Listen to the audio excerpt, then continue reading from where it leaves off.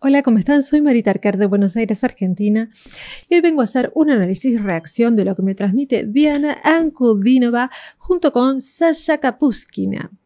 Sasha no está en el canal, así que vamos a ver si me puedo poner un poquito en contexto porque mucho no encontré. A ver, Sasha Kapuskina parece que es una blogger, una youtuber que ganó mucha popularidad en internet gracias a su interpretación de versiones de canciones populares. Continúa haciendo esto ahora, pero ahora su repertorio se ha ampliado con sus propias composiciones, una voz suave y sonora, rasgos dulces y peinados de varios tonos se han convertido en las características distintivas de la bloguera y cantante, también conocida bajo el seudónimo de Vallesna. Tuve esa duda también porque eh, al pie de la canción Caballo, que es la que vamos a analizar hoy, que interpretaron juntas, eh, Diana puso Diana Ankudinova y Sasha Vallesna. Supongo que lo estoy pronunciando mal. Eh, no puso Kapustina. Si me pueden aclarar en comentarios cuál es el apellido, sería genial. Bueno, dicen que el seudónimo es este Vallesna. ¿Qué significa? Bueno, eso es lo único que pude conseguir de ella. Así que bueno, vamos a conocerla y vamos a ver qué nos transmite Diana y Sasha en la canción ya conocida que voy a dejar por acá arriba el link porque ya, ya está en el canal. Amo las canciones folclóricas de Rusia. La canción Caballo. Allá vamos. ¿Qué nos transmite? Ay, qué hermosas que son las dos. Hermosas. ¿Tendrán la misma edad, más o menos?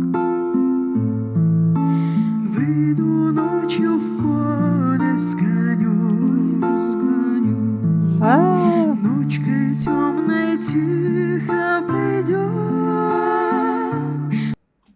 Están cantando en armonía.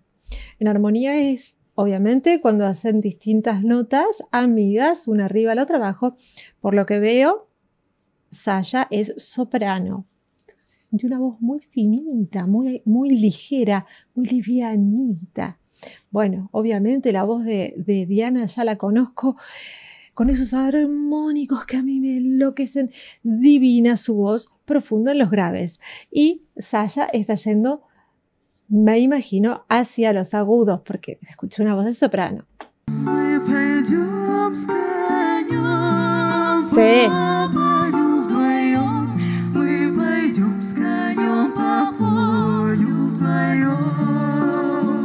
No es fácil. ¿eh?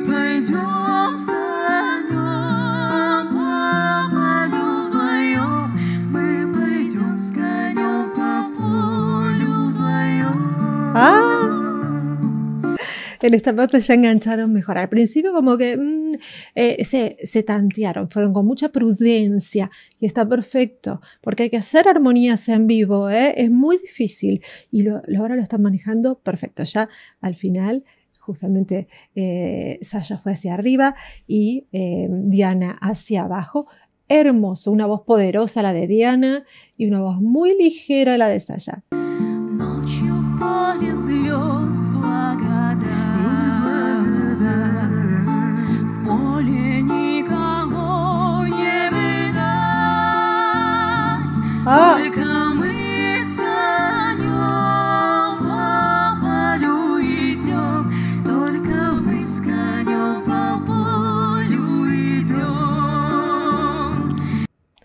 Hermoso, ahí hicieron casi un seno, quedó precioso.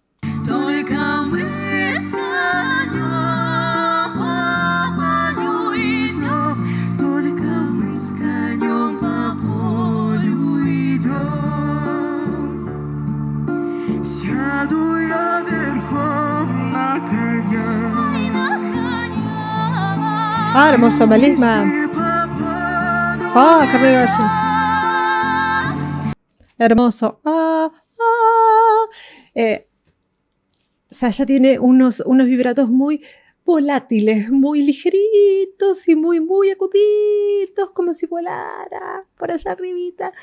Y eh, cuando canta eh, Diana, a mí, yo tengo piel de gallina todo el tiempo cuando canta Diana. Es una cosa que esa voz que tiene es tan sonora, tan Vibrante, vibrante es la voz de Diana.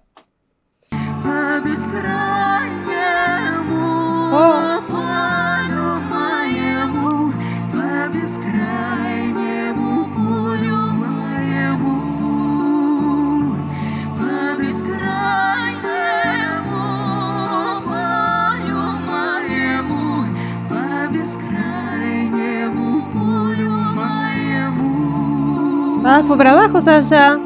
Lo instintivo hubiese sido Mañemu. Y sin embargo fue Mañemu. Dije cualquier cosa, era para graficar nada más. Con aire.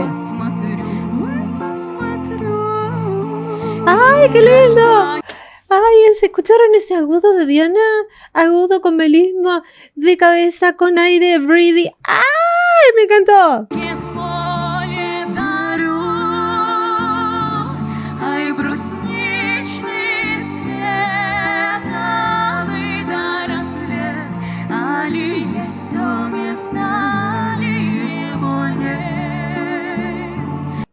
Otra vez el, el no sé qué dije ahí, también lo hizo unísono en vez de hacer moñé o moñé. Lo hizo eh, unísono con, eh, con Diana. Eh, bueno, hablemos un poco de la letra para los que no sabían de, igualmente yo ya hablé de la letra de, de esta canción. habla un poquito de que Alguien sale por la noche en el campo con su caballo, en la oscuridad de la noche, iremos en silencio, iremos juntos con el caballo por el campo, eh, en la noche bajo las estrellas, eh, en el campo bajo la gracia de las estrellas, ¿no? No ve a nadie, solo el caballo y yo caminaremos bajo el campo, se sentará en el caballo.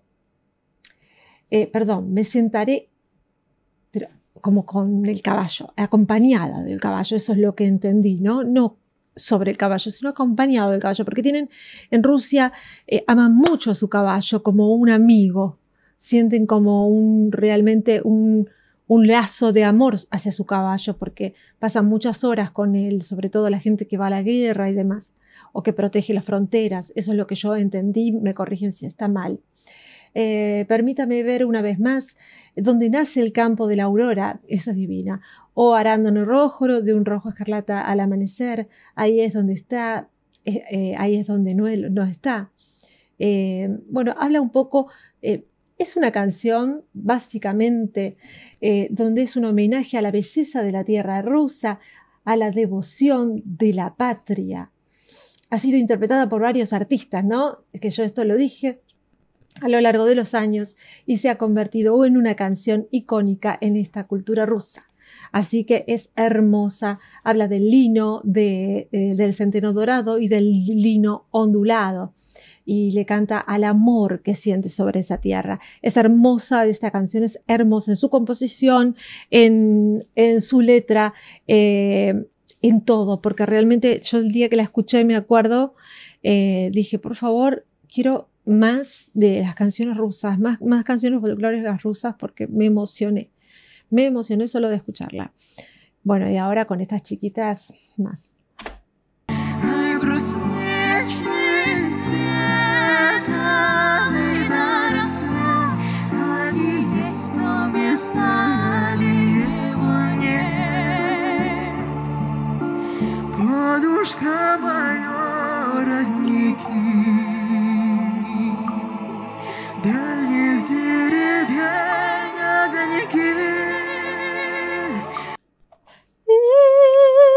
Arriba llega eh, Sasha.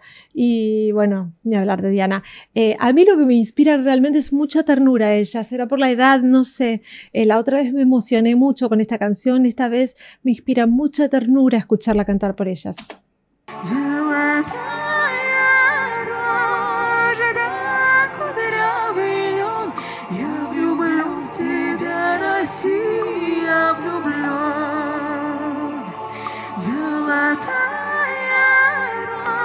¡Ay, qué lindo, Diana!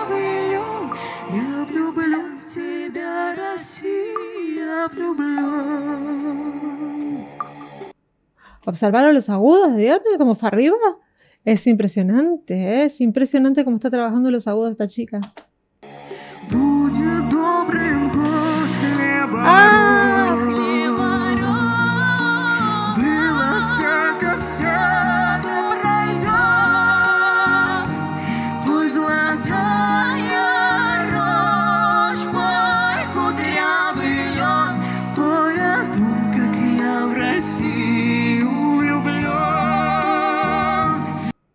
Una belleza, una belleza.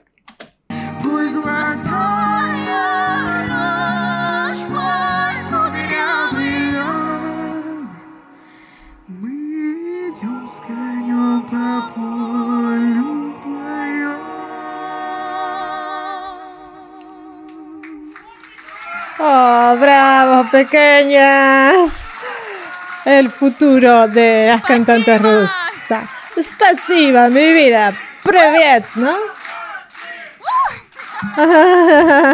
Qué dulzura, son un amor, son un amor, son una chiquita que eh, acá diría para comérselo, son comestibles, son hermosos, divinos, divinos, divinos. Bueno, ¿qué les puedo decir? Si les gustó la reacción, ya mismo suscríbete al canal, Tuki, suscripción, al lado de botoncita campanita. Esto es una cosa dulce, dulce, dulce para comerlas. Y bueno, nos vemos en la próxima reacción. Dale, hasta la próxima. Chao, chao.